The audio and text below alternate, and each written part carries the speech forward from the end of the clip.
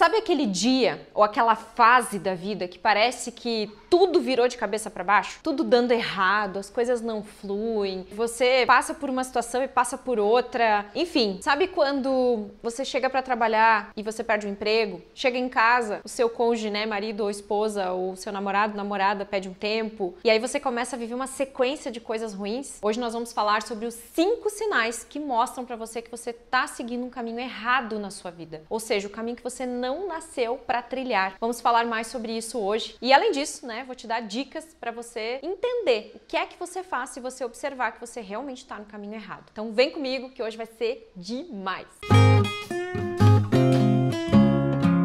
Muitas vezes, na verdade, assim, quase todas as vezes, eu não vou dizer que todas, que pode ser que eu não tenha entendido bem o propósito no momento, mas para mim e para muitos dos meus clientes e consultantes, eu sempre percebia que esses momentos que pareciam ser verdadeiras maldições na nossa vida, momentos em que parece que tudo tava, tava dando errado, chega no emprego, né? Eu me lembro de uma história de uma terapeuta, inclusive, que ela engravidou, foi sem querer a gravidez, inclusive ela até tinha pensado, né, em ter e tal, mas estava naquela, tenho, não tenho, aí conseguiu um emprego bacana, tava super bem, tava alinhada, tava feliz, engravidou, e aí saiu de licença, quando ela voltou, ela foi demitida. E aí ela não sabia o que fazer da vida. Ela tava começando a estudar um pouquinho esse caminho do autoconhecimento, das terapias holísticas, e ela resolveu então, já que ela tinha sido demitida, se dedicar mais a isso e talvez virar terapeuta. E hoje ela é uma das maiores terapeutas aqui do nosso, dos nossos treinamentos. Então, muitas vezes a gente se depara com essa situações e parece que o mundo tá caindo, tá desabando sobre a nossa cabeça, parece que tudo tá dando errado, parece que eu não, não vou conseguir dar conta, parece que tudo tá de ponta cabeça mesmo. Mas na verdade, essas são as maiores bênçãos da sua vida. Mas como fazer para enxergar tudo como uma bênção? Antes de eu te falar sobre isso, eu vou te falar dos cinco sinais que te mostram muitas vezes ou que o universo já tá te mostrando a tempos que você tá trilhando um caminho errado, que esse caminho não é para você, mas você tá ali batendo cabeça, insistindo, achando que sim, esse é o meu caminho. E o primeiro deles, o primeiro sinal é você não conseguir criar uma imagem do seu futuro. Você não consegue se projetar, você não consegue se ver, porque hoje o seu momento tá tão confuso, você tá tão distante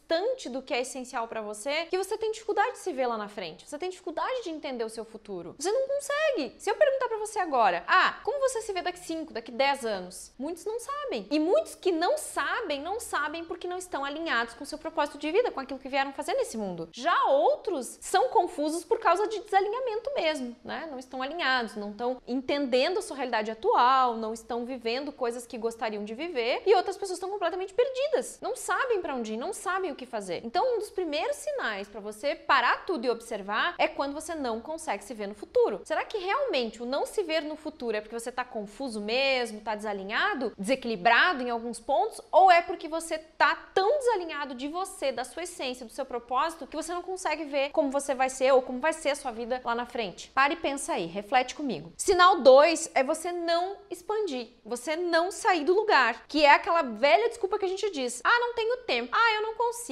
Ah, não dá. Não tem condição". Será que não tem tempo, não tem condição, não dá, não pode, só porque você não tem tempo ou porque você tá desalinhado mesmo? Tá indo pelo caminho errado. E aí você não fica disponível para você, você não fica disponível para sua vida. E agora a gente vai mais fundo nessa reflexão, que é algo que eu me liguei, que eu me lembrei agora, que nem tá no meu roteiro aqui, que eu fico dando umas espiadas para ver se eu não esqueço de nada. Quando você, muitas vezes, tá cuidando da vida de todo mundo, tá cuidando da sua família, tá envolvido nas coisas que não são suas integralmente, isso também não tá indicando que você tá indo por um caminho que não é para você? Porque você quer agradar todo mundo, você quer fazer tudo para todo mundo, que você esquece de olhar para o que você mais ama, para aquilo que você deveria estar se dedicando nesse momento. Afinal, eu sou aquela pessoa que prego. Não, pregar é coisa de determinista, né?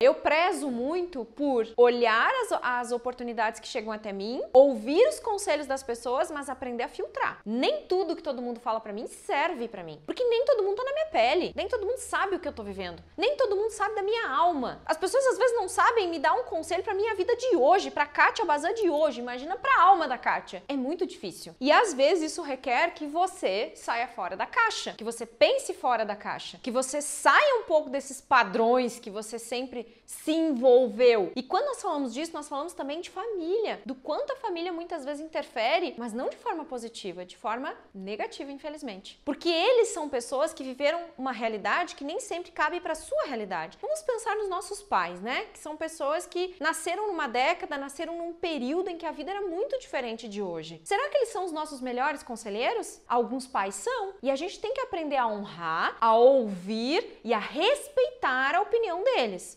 Sim, isso sim. Mas isso não quer dizer, se você já é adulto e bem crescidinho, que você tem que fazer tudo que seus pais te falam. Tem coisas que para eles, pra época deles, pro momento deles, é assim, ó. Uma pessoa hoje de 40 anos para ouvir uma pessoa de 80 anos, pensa bem. Será que ela consegue te dar conselhos reais? Será que ela tem acesso à mesma tecnologia que você teve? Entende o ponto? Você tem que ouvir, você tem que honrar e respeitar. Respeitar é saber ouvir, mas nem tudo a gente vai acatar. A gente tem que saber filtrar. Nossos pais, nossos avós são pessoas lindas, são pessoas incríveis, são maiores do que nós. Vieram antes, desbravaram muita coisa que nós talvez não teríamos energia, disposição e o amor que eles tiveram por nós. Nós talvez não teríamos por eles tanto quanto eles têm por nós. Porém, eu tenho que saber que uma das minhas missões aqui é também levar novos padrões e uma nova realidade para dentro do meu sistema familiar. E não é manter o padrão retrógrado ou o padrão velho que já está cansado e carregar isso na minha vida, carregar esse peso para mim. Eu não preciso seguir tudo que a minha família me fala, mas eu posso honrar, respeitar, ouvir, acolher, mas seguir um novo destino, um novo caminho. O novo também é importante e não só seguir velhos padrões, tá? Então, expanda a sua mente, se abra para as oportunidades. Porque se você continuar seguindo velhos padrões, esse velho eu não é o mesmo eu que vai te ajudar a seguir o caminho que você nasceu para seguir, tá? Sinal 3, só querer segurança. Eu quero me sentir seguro. Eu quero me sentir seguro porque eu tenho um salário, seguro porque eu tenho uma casa, seguro porque eu tenho um carro. Peraí, para um pouco. Será que tudo isso te dá segurança? Esse emprego que você tem hoje, quem diz ou quem te disse que amanhã você não pode perder esse emprego? Que segurança é essa? Ah, eu vou ficar aqui porque aqui é seguro. Aqui é o meu lugar, aqui eu tenho segurança. Nem sempre. Observa se a segurança não é uma forma de você burlar os seus desejos e os seus sonhos. É a maneira pela qual muitas vezes a gente se sabota em atingir objetivos melhores e maiores para nossa vida. Então, querer segurança muitas vezes indica que você tá indo no caminho errado. Não é a segurança que vai fazer você ser feliz, e sim o contrário disso. Eu sou feliz porque eu sou seguro de mim e não porque as coisas lá fora me dão segurança. Eu confio em mim. É você buscar esse caminho da autoconfiança, de se sentir seguro na caminhada que você está trilhando. Não são as coisas que te rodeiam que te trazem isso, e sim você precisa se conectar com isso. Você precisa ser feliz com você. Você precisa fazer as escolhas baseadas no que você pensa, sente e a realidade que você quer atrair. É a sua mente e são as suas crenças que ditam a sua realidade e os seus resultados. Se você acredita que você precisa ter aquele emprego seguro para ter segurança, um dia ele pode acabar. Um dia esse conforto, essa segurança pode não existir mais, porque você precisa aprender a ser seguro com você, confiar em você e não no que está fora, e sim no que está dentro. Sinal 4 é você se esforçar demais e não ter resultado. Será que o excesso de esforço já não está dizendo há muito tempo para você que é sinal de alerta?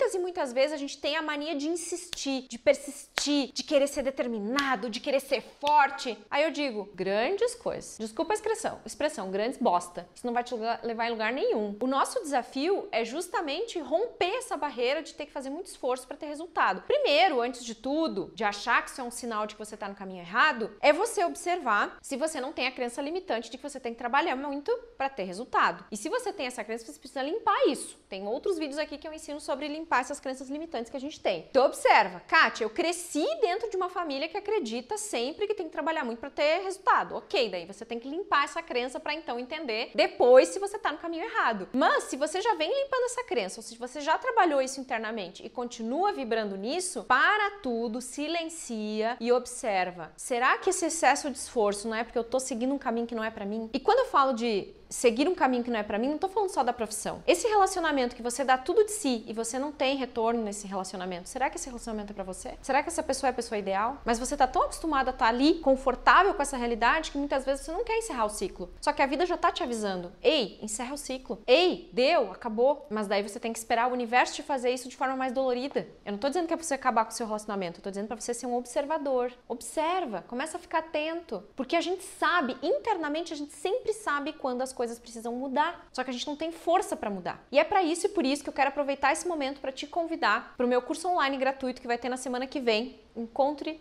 um novo rumo para sua vida.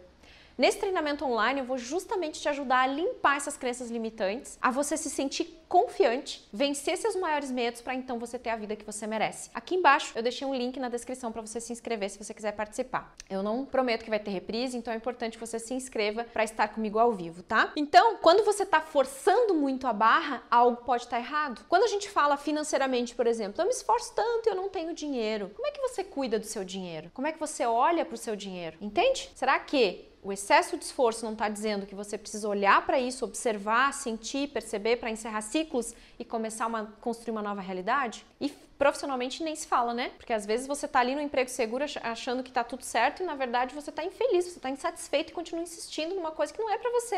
Acabou, já deu. Vai procurar novas possibilidades. Vai se abrir pelo menos para novas possibilidades, que aí o universo faz todo o resto. O primeiro passo eu acho que é se abrir mesmo, sabe? Para depois permitir que as coisas aconteçam. E o quinto sinal é justamente você não se abrir pro novo, não deixar o novo vir. É você ficar ali fechado no mundinho. Sabe aqueles cavalos que usam viseiras, assim, que não podem olhar para os lados. Às vezes a gente é assim na vida. Eu não quero nem ver o que está ao meu redor, eu quero ficar aqui tá muito bom aqui. Só que se você não desconstruir o seu velho eu, você nunca vai construir um novo eu e uma nova realidade. Você precisa tirar as viseiras e olhar ao redor. Meu Deus, o mundo acontece assim? O mundo lá fora tá esperando por você. O universo tem milhões de possibilidades para te trazer, mas você não pode ficar confinado dentro de uma realidade que você acredita que é só isso e pronto. A vida tem muito mais para te dar, a vida tem muito mais para te oferecer, mas você tem que se abrir para isso. E quando você não tá aberto a isso, normalmente você tá confinado confinado, preso, porque tá no caminho errado. Não é o seu caminho, não é o caminho da sua missão, não é o caminho do seu propósito. Então observa desses cinco sinais se pelo menos um deles não tá atrapalhando o seu propósito, a sua missão, a sua visão de vida, o rumo que você tá dando para sua vida. E é muito importante que nesse evento da semana que vem nós vamos falar mais sobre isso. E então, não sei que, em que dia você vai ver esse vídeo, pode ser que esse evento esteja no ar, pode ser que não esteja, que você veja esse vídeo depois, mas a minha proposta nem é falar só para terapeutas e nem vai ser focado em falar para terapeutas terapeutas. Vai ser para todo mundo, porque em algum nível, em algum momento, a gente se sente desencontrado na vida. E parece que uma avalanche cai sobre a nossa cabeça. E como é que eu saio disso? E como é que eu mudo a minha realidade? Eu quero te ajudar para que você tenha força para entender qual é o próximo passo e o que você tem que fazer da sua vida agora. Para que você não espere que as piores coisas aconteçam para então você tomar uma atitude e mudar de vida. Combinado?